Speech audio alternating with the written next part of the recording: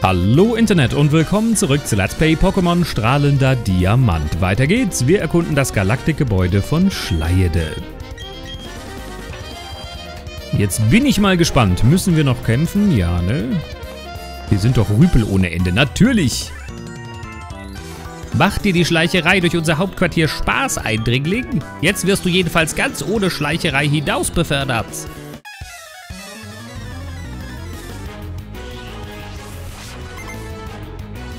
Zwei Pokémon hat der Gute. Und zwar ein Golbat und wahrscheinlich so ein Stinktier, ne? Oder die dicke Katze. Alles ist möglich. So, wir nehmen den Flammenwurf.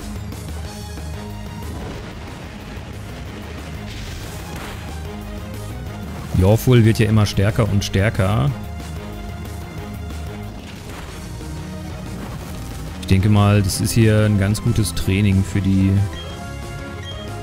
schwächeren Member meines Teams.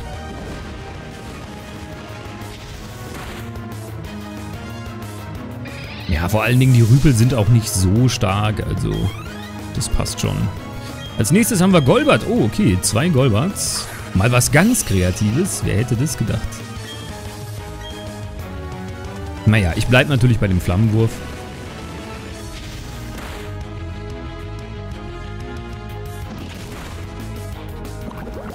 Na, no, unvergiftet. Ach, wie ärgerlich. Habe ich ein Gegengift dabei? Ich glaube ja, ne? Also ich muss Jorful gleich auf jeden Fall ein bisschen heilen.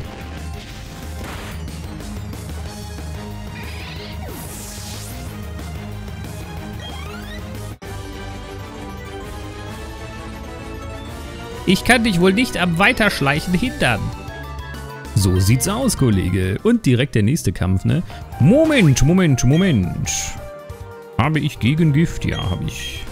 Sogar relativ viel. Ja, und du kriegst noch einen Trank. Beziehungsweise so eine Kumu-Milch.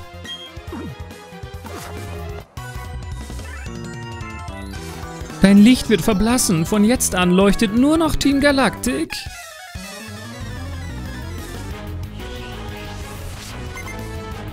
Weibliches Mitglied, auch zwei Pokémon.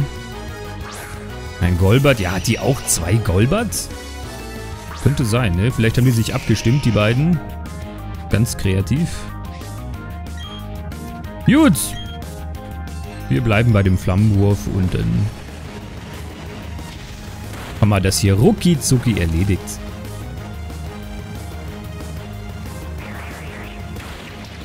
Das Schöne ist, dass dieser Verbrennungseffekt relativ oft auftaucht, ne? Wenn man den Flammenwurf einsetzt. Das könnte noch nützlich werden später.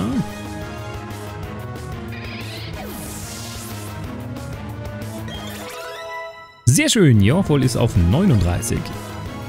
Und versucht Grimasse zu erlernen.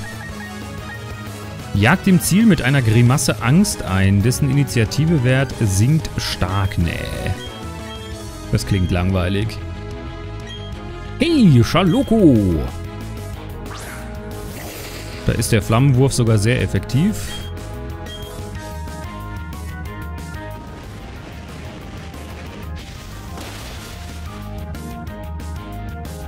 Und schon haben wir einen weiteren Kampf gewonnen.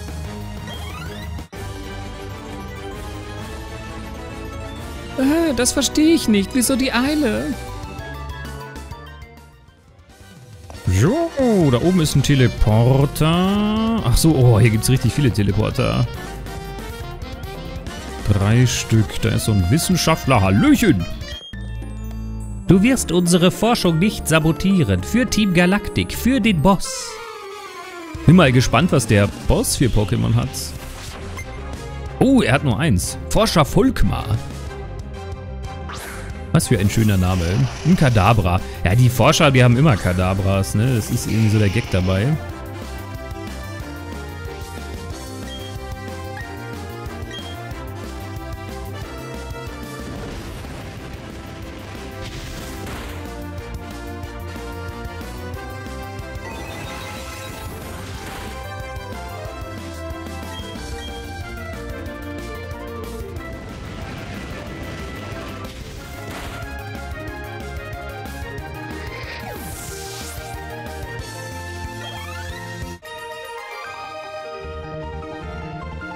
Ich hatte keine Chance. Das war jämmerlich. So sieht's aus. Okay, wir müssen Jorful nochmal heilen. Ich würde sagen, ich spiele so lange mit Jorful, bis er Level 40 hat und dann wechsle ich auf Vasili und dann noch auf Marie. Also, ich schaue, dass die alle so auf 40 landen. Beziehungsweise die leveln ja so oder so mit, ne? Aber ich bringe sie aktiv auf 40. Nacheinander. Ach, hier kann man sich heilen. Oh, wie schön. Boah, dann hätte ich mir jetzt auch den Einsatz der Milch sparen können. Schlafraum von Team Galactic. Überprüfe stets, ob das Bett leer ist, bevor du dich hineinlegst. Ja, das ist allgemein ein guter Tipp fürs Leben, würde ich sagen. Gut, da haben wir so einen Doppelkampf. Wo führen denn die anderen Teleporter hin? Also ich würde natürlich schon ganz gerne auch alle Wege gehen. Achso, ah, hier kommt man vielleicht zu dem Item da unten, ne? Nee, doch nicht. Das Motto von Team Galactic lautet, alles weit und breit gehört uns. Heute ist die Welt und... Nee, heute die Welt und morgen das Universum. Ich dachte erst, heute ist's die Welt und morgen das Universum. Was haben wir denn hier? Ein Top-Beleber. Oh, super, super nützlich.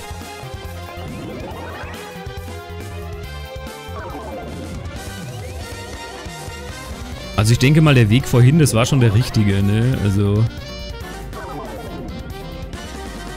Ich glaube, das war korrekt. Wohin führt dieser Teleporter?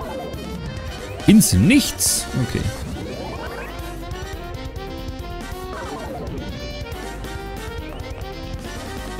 Na dann gehen wir nochmal hier vorne drauf.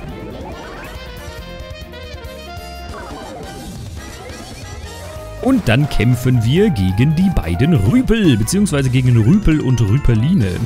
Genießt du deine wilde Tour durch das Hauptquartier von Team Galactic, zu der du nebenbei keinerlei Berechtigung hast? Hallo, kleiner Trainer. Du giltst bei Team Galactic schon als Berühmtheit. Wer dich außer Gefecht setzt, bekommt eine Beförderung. Ja, könnt ihr ja mal versuchen, ihr kleinen Schlönze. Okay, 3 und 2. Skunkapu und Glibunkel. Das könnte sogar anstrengend werden. Vorahnung, okay. Naja. So, Luftschnitt ist sehr effektiv gegen Glibunkel. Ja. Ich konzentriere mich erstmal auf Glibunkel, würde ich sagen.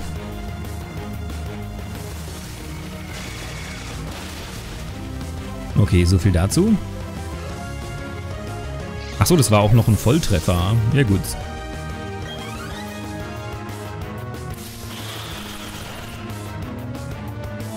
Dafür, dass das nicht sehr effektiv ist, hat das ganz schön viel Schaden gemacht, ne?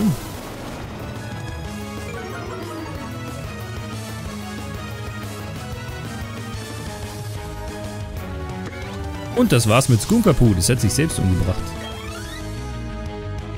Jo, Glibunkel. Gut, da habe ich ja wieder die Luftattacke. Und Charmian, die kleine Katze. Da kann eventuell Bisaflor was ausrichten.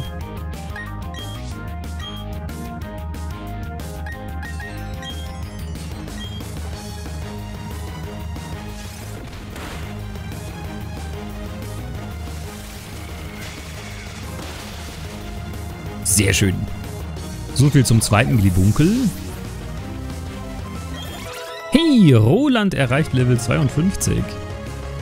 Und versucht Bohrschnabel zu lernen. Eine Flugattacke, Korkenzieher-Angriff, bei dem der Schnabel als Bohrer dient. Ich glaube, die lerne ich sogar, die Attacke. Weg mit dem Blubstrahl.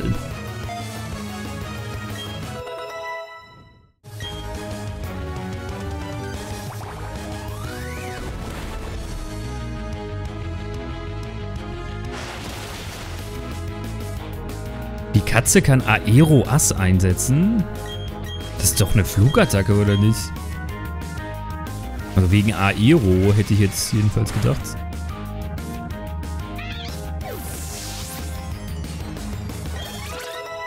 Sehr schön, Marie erreicht Level 38.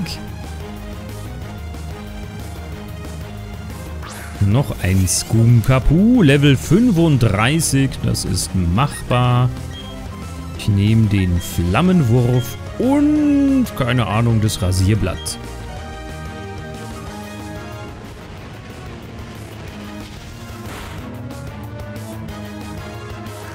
Ich hoffe, der Schaden reicht's. Sehr schön. Ja, und ich glaube, dann haben wir gewonnen, ne?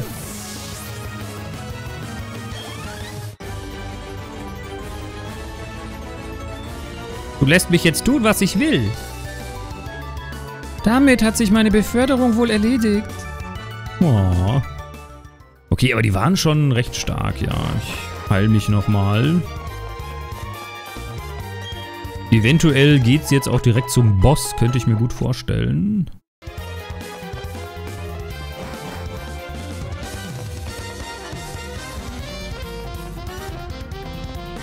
Dass es quasi so die letzten Wachen waren. Oh, drei Teleporter. Okay, wir fangen unten links an. Das sieht ganz gut aus. Jo, da vorne, da ist der Leader.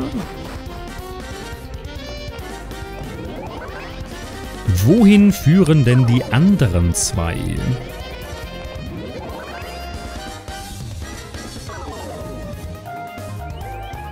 Okay, so ein Aufenthaltsraum oder so, ne? Ach so, ah!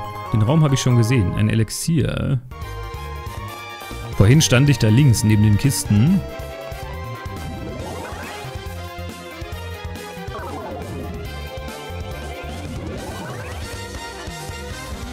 Und der letzte Teleporter. Okay, dann stand ich doch nicht links neben den Kisten vorhin. Aber da oben stand ich. Ich habe auf jeden Fall irgendwie den Gegenstand schon mal gesehen, den ich gerade eingesammelt habe. Da bin ich mir relativ sicher. Andererseits, hier sieht alles gleich aus, ne? Also... Naja. Gut, ich freue mich. Ja, wobei, gegen ihn nehme ich lieber meine stärkeren Pokémon. Da packe ich mal die Shatnahar auf 1. Genau. Denn ich denke mal, der wird Hardcore sein. Oder ich hoffe es. Sieh einer an, dann bist du wohl der Trainer, von dem ich gehört habe. Jener törichte Trainer, der sich für stark genug hält, um Team Galactic aufzuhalten. Allerdings hätte ich nicht erwartet, dass es sich dabei um einen Dreikäse hoch wie dich handelt. Nun ja, unseren Commandern scheinst du ja ziemliche Probleme bereitet zu haben. Ich weiß im Übrigen, warum du hier bist. Es geht um Selfie, Vesprit und Tobuz, richtig? Du willst sie retten. Ich brauche sie nicht länger. Sie haben ihren Zweck bereits erfüllt. Wenn du sie unbedingt retten willst, nur zu, mir ist es gleich. Damit ersparst du mir eher die Arbeit, sie selbst beseitigen zu müssen. Allerdings muss ich sagen, du bist schon erstaunlich. Diese Pokémon haben rein gar nichts mit dir zu tun. Und dennoch willst du sie retten. Warum? Aus Mitleid? Welch nutzlose Emotion. Unlogisch, irrational. Mitleid und Barmherzigkeit sind Produkte des schwachen menschlichen Herzens. Solch jämmerliche Sentimentalitäten haben dich also hierher gebracht. Kurze Anmerkung, die Musik im Hintergrund, die ist ja sowas von unpassend, ne? Die ist viel zu fröhlich. Naja. Gleich wirst du es bereuen, auf dein Herz gehört zu haben. Ah, jetzt kommt die gute Mucke. Da ist er. Galactic Boss Cyrus. Boah, der sieht so cool aus, ne? Ich finde den schon. finde den schon nice, den Typen. Cool, er greift mit einer Krähe an. Ja, warum auch nicht? Wir können es auch gegenseitig mit Wattebäuschen abwerfen. Jo, Fokusstoß. Immer drauf. Okay, fängt gut an. Nichts passiert in der ersten Runde.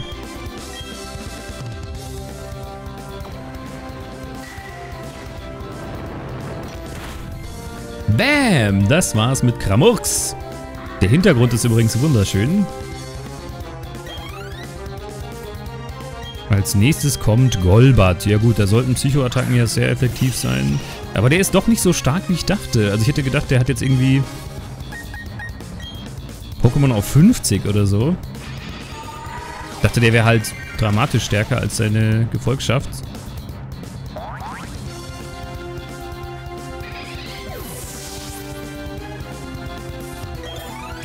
Oh, sehr schön. Ishatnaha auf 54, Vasili auf 35 und Yorful auf 40.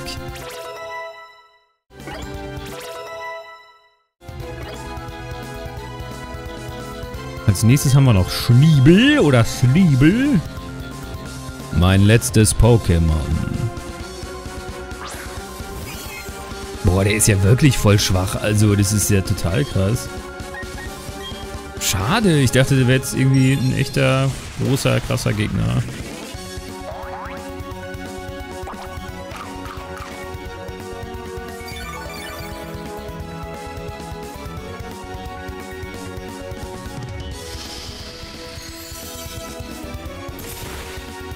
Nein, Ishatnaha erholt sich eine Erkältung.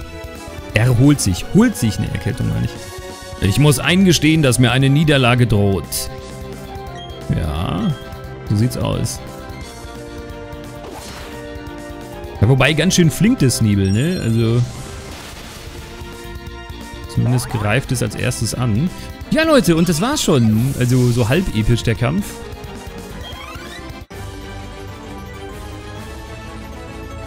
Interessant, aber auch etwas merkwürdig. Vielleicht gibt's ja nochmal ein Rematch gegen den oder so. Verstehe, du bist tatsächlich sehr stark. Deine Kraft ziehst du also aus dem Mitgefühl und der Zuneigung, die du für Pokémon empfindest.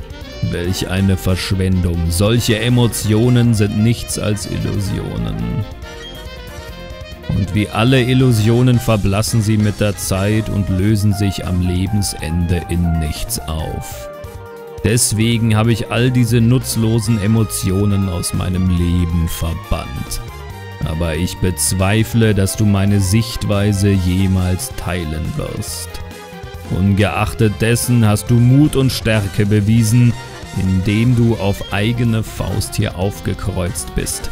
Das weiß ich zu respektieren. Hier ist deine Belohnung. Hey, oh, ein Meisterball. What? Der Meisterball ist der beste aller Pokebälle. Mit ihm lässt sich jedes wilde Pokémon fangen und zwar immer und überall. Ich habe jedoch keine Verwendung dafür. Im Gegensatz zu euch Trainern betrachte ich Pokémon weder als Freunde noch als Partner. Ich verwende sie auch nicht als Werkzeuge wie die anderen Mitglieder von Team Galactic. Stattdessen mache ich mir die Kraft der Pokémon zu eigen. So ein weirder Typ. Wenn dir wirklich etwas daran liegt, die Pokémon der Seen zu retten, dann nutze den Teleporter dort vorne. Ich begebe mich unterdessen zum Kraterberg. Ja, du hast richtig gehört, zum Kraterberg, wo wir uns zum ersten Mal begegnet sind. Ich werde seinen Gipfel erklimmen und das Ende allen Seins einläuten. Nein, viel eher werde ich den Weg für einen neuen Anfang ebnen. Na dann befreien wir mal alle. Hauptsache wir haben Meisterball. Oh, jetzt haben wir coole Musik. Die da oben war viel zu fröhlich. Ich habe Team Galactic tatkräftig unterstützt, aber dieses Experiment ging zu weit. Okay. Ich kann nichts zu unserer Verteidigung sagen, aber zu welchem Zweck soll dieses Ding, das wir erschaffen haben, überhaupt eingesetzt werden? Oh, die sehen sehr legendär aus. Du, du bist den ganzen weiten Weg gekommen, bloß um hier ein paar Pokémon zu retten. Unser Boss ist mir echt ein Rätsel. Aber das ist nichts Neues, denn ich habe noch nie verstanden, warum er so tickt. Ich meine, warum lässt er dich, Pimpf, hier einfach kommen und gehen, wie es dir passt? Wir von Team Galactic nehmen uns, was wir brauchen und löschen alles andere aus. Egal, wo du schon mal hier bist, will ich dich auch auf unsere Art willkommen heißen. Sieh es einfach als kleine Revanche für das, was du am See mit mir abgezogen hast. Oh, echt? Direkt der nächste Kampf. Ja, eventuell ist er ja stärker als der, der Boss. Wobei, gehe ich jetzt nicht von aus. Ne? Also, kann ich mir jedenfalls nicht vorstellen. So, Simsala gegen Kadabra, Level 38. Das ist doch nix.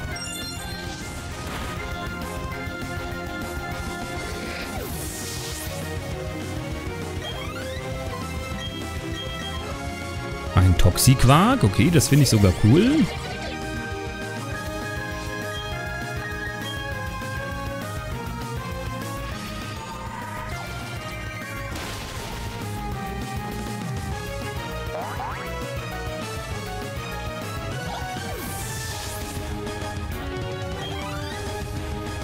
Und als letztes haben wir ein Bronzel.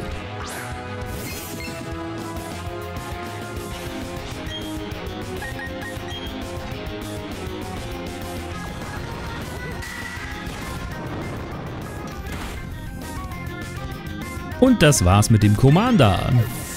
Ja, stärker ist er nicht geworden. Du bist stark, Kind. Trotzdem bedauere ich Menschen wie dich.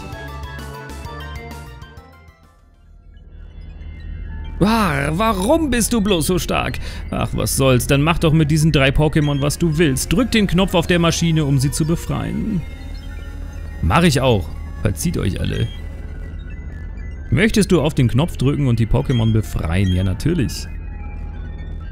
Oh, die sehen süß aus. Und weg sind sie. Unser Boss hat eine rote Kette aus den Kristallen der drei Pokémon geschmiedet. Diese rote Kette braucht er offenbar, um etwas auf dem Kraterberg zu fesseln oder so ähnlich. Aber mehr weiß ich nicht. Keine Ahnung, was er da oben wirklich vorhat. So Leute, ich glaube, dann sind wir hier fertig. Oh, sind die alle weg? Jo, ne? Denke mal, die haben das Gebäude verlassen. Besser so. Was ist das hier für ein Teleporter? Ach so, ah, da kommt man raus. Okay. Hey, da vorne liegt noch ein Gegenstand. Nein, wie komme ich da hin? Ach, wobei, egal. Jo, wir sind wieder draußen. Begib dich auf den Gipfel des Kraterbergs, um Team Galactic aufzuhalten. Okay, da müssen wir hin. Also ich denke mal, wir gehen am besten hier unten lang. Ja, wir fliegen nach Herzhofen, dann gehen wir nach links und dann kraxeln wir da irgendwie hoch, ne? Macht, glaube ich, Sinn. Ja, das war ja schon ein nettes kleines Abenteuer in dem Galaktikgebäude, gar keine Frage. Bin mal gespannt, wie es weitergeht.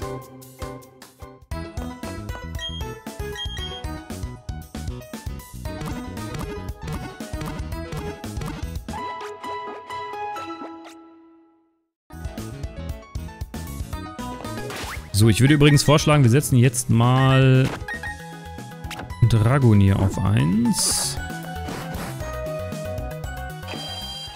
Hat es eigentlich Wasserattacken?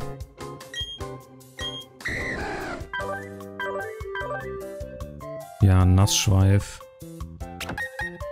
Okay. Denn ich denke mal, wir kämpfen jetzt hauptsächlich gegen Gesteins-Pokémon in der Höhle.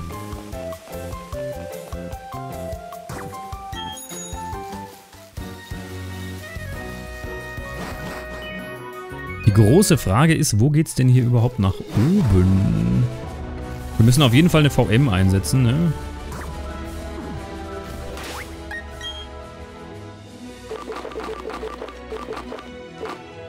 Wo wir gerade beim Thema Einsetzen sind.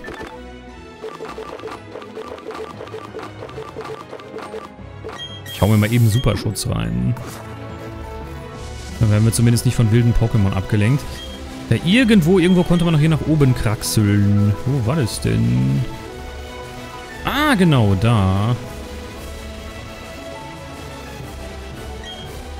Diese Felswand ist sehr uneben. Möchtest du Kraxler einsetzen? Ja. Ein wildes Bidifas setzt Kraxler für uns ein.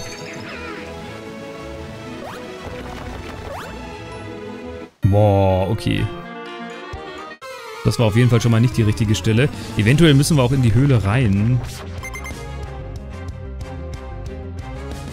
Und dann innen nach oben kraxeln könnte auch sein, aber... Ja, wobei macht sogar mehr Sinn, ne? Dass es innen weitergeht.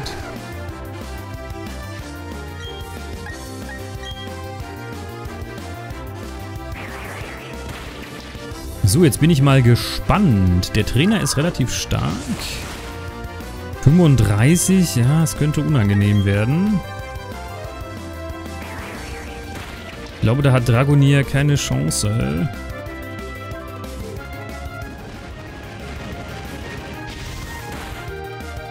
Das wird kritisch. Okay, dann heile ich dich mal eben.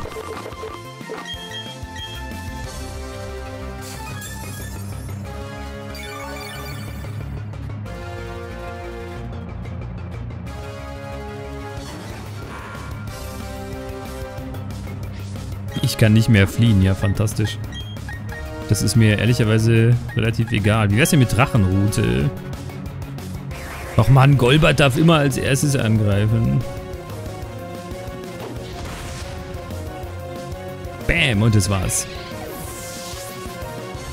Das gibt jetzt aber ordentlich XP, ne? Ja, ja, genau. Als nächstes kommt Georox. So. Für dich habe ich eine Wasserattacke.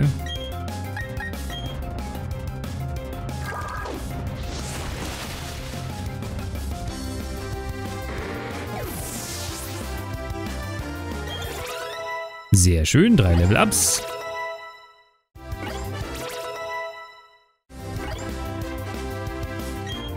Und ein Onyx, da benutze ich auch wieder die Wasserattacke und dann haben wir auch schon gewonnen.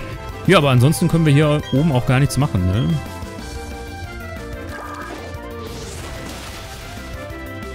Och, immer die blöden Onyx mit ihrer Robustheit.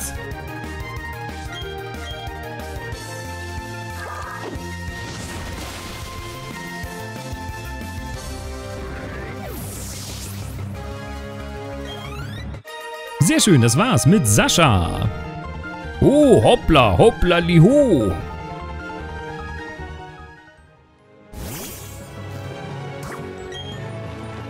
Tja. Kann man hier sonst noch was machen? Nee, ne? Oh, doch. Du findest ein Fläschchen Eisen. Nice. Volles Versteck. Was sagst du dazu, Roland? Roland Junior sieht sehr glücklich aus. Okay.